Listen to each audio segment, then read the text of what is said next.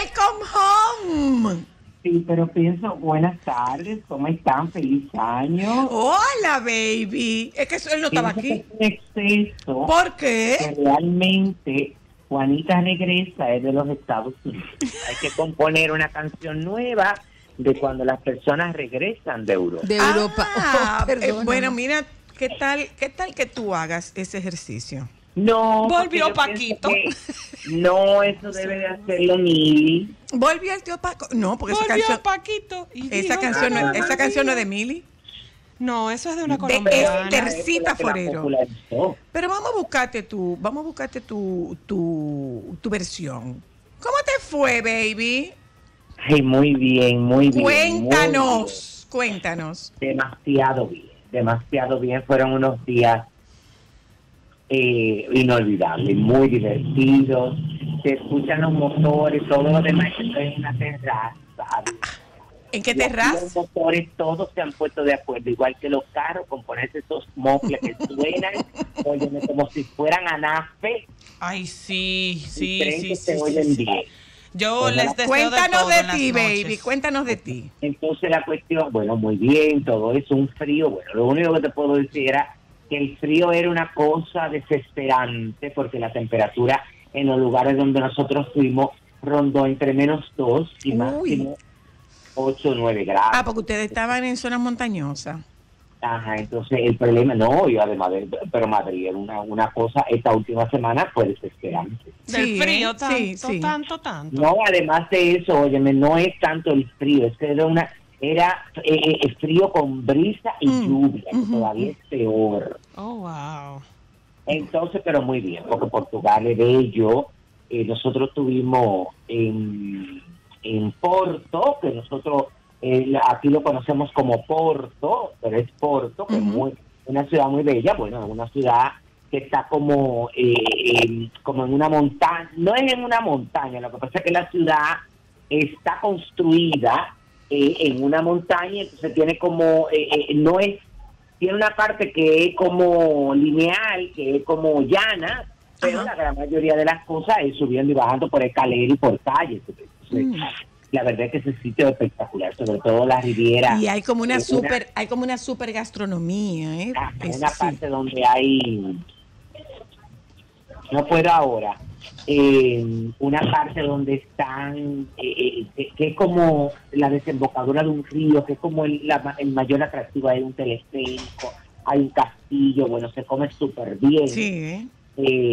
en Portugal y de ahí entonces nosotros estuvimos en Oporto. Además de que no es, co- no es costoso, baby. Sí, bueno, eh, Europa está caro, todo el mundo está caro porque Estados Unidos está caro, Miami está caro, Nueva York está caro, eh, pero yo me sorprendí, porque en comparación, por ejemplo, de cuando yo estuve en París y lo comparé ahora con eh, estando en Portugal y España, me lo encontré muchísimo más barato. Ok. Yo no sé si fueron por los lugares eh, que nosotros anduvimos, pero por ejemplo estuve en un sitio que se llama Braga, que es bello, en. Portugal, pena que estuvo lloviendo, pero es un lugar hermoso, lleno de historia. Estuvimos en otro lugar que se llama Sintra, que alguien me lo había recomendado, que ese sí es en la montaña, y es un lugar como con mucha historia, muy romántico. Eso, cuando te hablo de historia de, de cómo se construyó la ciudad, que fue ordenada por un rico y entonces el rico tenía como unos empleados y los ponía en una casa y que si yo qué, entonces aquí estuvo la esposa.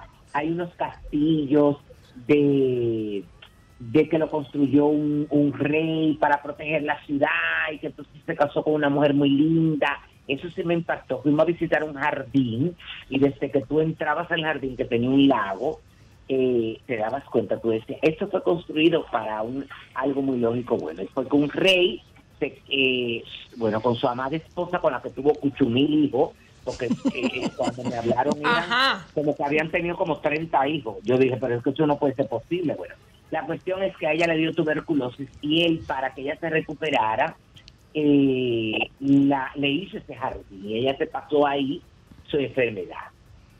Entonces, fíjate lo- la- las cosas de la vida. Superó la tuberculosis, pero murió eh, meses después al dar a luz a uno de sus hijos. Oh, el último. Entonces, E- esa ciudad muy bella. Ahí me comí un pastel de queso con eh, pistacho. Ay, qué, Ay, qué rico. De morir. Bueno, después de Sintra estuvimos en Lisboa. Ahí también nos pasamos ahí porque recibimos el año y la verdad es que también muy bello. Lisboa es espectacular. Esa parte de, de que se ha hecho famosa de Lisboa, donde está la calle, no, no recuerdo cómo se llama esa calle, donde está como en el centro de la ciudad las grandes tiendas que desembocaba como en un parque de luces que tenía una noria y todo ese tipo de cosas. Eso, eh, para mí eso fue impresionante porque la decoración de las ciudades, por ejemplo, tanto en, eh, en Portugal como en España, son impactantes. Sí. De cómo las decoran lo que es el exterior, que tiene que ver como con la alcaldía y los ayuntamientos de las ciudades. Ahora, las decoraciones per se de Navidad que hace la gente en las tiendas y en los bares y en los cafés, aquello es la cosa más fea del mundo. Lo más feo, porque yo no sé si es que los, los adornos lo tienen hace 40 años, pero una cosa horrenda. Ay, Dios. Contrastante. No, no, no, no, yo digo, Dios mío, pero qué mal gusto. Oh, Dios. Oh, Dios. Bueno, la cuestión es que de ahí nos fuimos, bueno, de, de, de Lisboa no nos quedamos eh, todo el tiempo porque bajamos a, como que nos desesperamos, ya estaba, estaba bueno. Y nos fuimos para Madrid, te podrás imaginar, en un momento en la Gran Vía caminando, yo dije, estoy en Times Square. ¿A dónde era que estaba? En Times Square. Sí, de la ¿eh? cantidad de gente que sabes, la oferta gastronómica de, de- de Madrid, además cultural, artística, en todos los teatros habían, estaban eh, los musicales Mamma Mía, El Rey León, eh, el musical de ABBA, eh, era una cosa, bueno, eh, increíble, eh, y nada, ahí la pasamos eh, súper bien, ya tú sabes, de compra, en delirio, en esto para acá, fui a Ajá. conocer el famoso restaurante ese que le dicen amazónico. Ay, sí, eso es lo último los muñequitos, ese restaurante. Sí, sí. Es como muy trendy. Mira una cosa, la gente tiene que entender que es un lugar más que se ha convertido en un atractivo turístico. Ok. Pero, por ejemplo, por ahí cerca hay otro restaurante que es, es los top de los top de los top que se llama Paraguas, donde tú comes 30 mil veces mejor que en Amazonia. Ese- Paraguas, déjame buscarlo. En Paraguas, claro, te dan en el Paraguas, Linda. Sí. Pero en el otro te dan igual, ¿no? Es en el Paraguas que te dan. No y es más caro que, que Amazónico, van igual. Sí. Oye, ¿cómo dice la descripción? La sofisticación de la sencillez. Wow. Uy, qué complejo. te das cuenta, porque además Pero bello. en este que yo te estoy diciendo de Paraguas, te das cuenta lo chic de la gente, que ahí no va la gente como por moda, ahí va el chic y elegante de Madrid o de España. Ok. Baby, pero hasta, baby, pero hasta el hielo personalizado en Paraguas. No, no, no, no, eso es una cosa. Y para tú encontrar, por ejemplo, nosotros tuvimos la suerte de que afuera pudimos encontrar algo donde sentarnos y ahí nos comíamos algo, porque dentro no había. Así, eso estoy viendo que eh, eh, eh, Madrid tuvo una temporada de fin de año de excepción con las eh, con, con los llenos de los restaurantes, sobre todo de los restaurantes y los bares. Entonces, tú sabes que Es está muy bien. En- Europa está, óyeme, en Europa eso está, eh, yo no sé si es por la temporada o porque ellos lo quieren manejar así, pero lo que es el, eh, lo que es planificación por tandas en restaurantes eh, de lujo, lo que es por tandas, es decir, mi amor, óyeme, perfecto, usted tiene una reservación aquí, pero es de 6 a 8 de la. Muy bien. Muy bien, para que la gente no dure Ah, mira, la para vida. que tú no te pases hora muerta Claro. sentado. No, no, no, no, porque tienen otra tanda que empieza a las Claro. 8 de la noche. Lo que es eso y hacer reserva. Es decir, allá, mi amor, por más bonito que tú llegues, tú puedes ir vestido como de lo que te dé la gana. Y si llegas y no tienes reservación, I'm sorry, aunque el restaurante vacío. Mm, claro, ya. Entonces, eso es muy importante. Bueno, pero la pasamos muy bien. La verdad es que me reí, gocé, eso sí que nos dio de todo. Porque con ese clima, bueno, nos dio gripe a todo el mundo.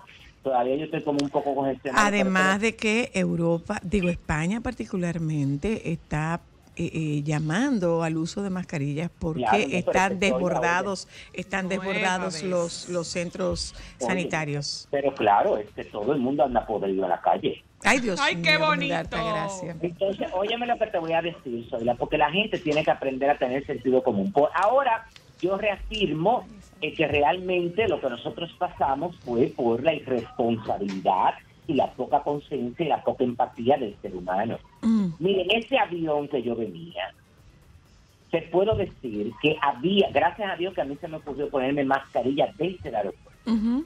Yo venía rodeado de cuatro gente, con una tos Tosiendo. persistente, con un pecho persistente. Y vete a si tenía mascarilla. No, no. Entonces, no puede ser posible. La gente tiene que aprender a ser responsable. Es decir, si usted no se siente bien, póngase su, su máscara, pero nada. Eh, la verdad es que fue maravilloso. Me topé con muchísima gente, no con muchísima gente, gracias a Dios. Me topé con dos o tres personajes de aquí, en lugares muy específicos, eh, pero todo muy bien, gracias a Dios. Bueno, eh, eh, Anoche fueron los Golden Globe, antes que se me olvide. La película eh, Oppenheimer se llevó eh, sí, cuatro estatuillas, incluida, eh, estatuillas incluida la de los premios a la película de drama, actor principal, actor secundario y director. La verdad es que los Golden Globe para mí son como por la forma en que lo hacen el verdadero premio, porque eh, bueno, reconocen a todos los que tienen que ver con la industria cinematográfica, del cine, de las plataformas digitales, de la serie, todo ese tipo de cosas y de la, de, la televisión. Pero, óyeme, lo hacen realmente dándole la importancia a ellos como protagonistas, aquella escena tan chic, tan elegante, un ambiente tan distendido. eh, y la verdad es fue, eh, como de costumbre, en el Hotel Beverly Hills eh, Hilton de Beverly Hills y la verdad es que eh, bueno, ahí pudimos ver y la moda, mi amor, fíjate. qué bello, ¿eh? Este No, no, no. Este es nuestro referente, señores. Va la simpleza, lo bien confeccionado, lo que tenga siluetas marcadas, lo que sea eh, que tenga algún tipo de volumen, pero discreto, con eh, ese volumen como bien estructurado, bien cosido, porque por ejemplo, mira, yo le ponía de ejemplo esta mañana a Heidi Klum, que fue con un vestido rojo, straple con la falda eh, corte princesa con un abierto, pero tú viste el trabajo de los cortes de esa falda. Sí, muy bonita ya estaba. es decir, eso no es cualquier trapo que te van a poner. Hágame una cop- no, mi amor. Eso, eso, eh, eh, eh, esos son eh, diseños originales. Entonces, el caso, por ejemplo, de J. Lo, que tenía bella. que la veía elegante y chic. Ay, sí, Porque ella bella. espectacular, pero siempre anda en cuera, tú ves.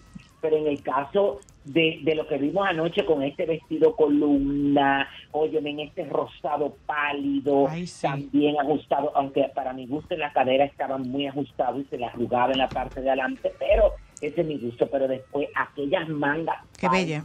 Ay, con sí, aquellas sí. flores, este eh, eh, eh, el peinado, el look de los años 50. mejor- Es una vuelta al glamour. Mejor ¿eh? vestida, ¿verdad? Es como una Ay, vuelta sí, al ella glamour. estaba bella. Bueno, lo que- Francisco. mira, para mí ella... La mejor Helen vestida. Eh, Helen Mirren, que fue con, vestida en lila rosado, con un vestido en organza, de, en chifón de seda drapeado, que era de morirse, y el vestido que tenía Natalie Portman, que era una joya de Dior.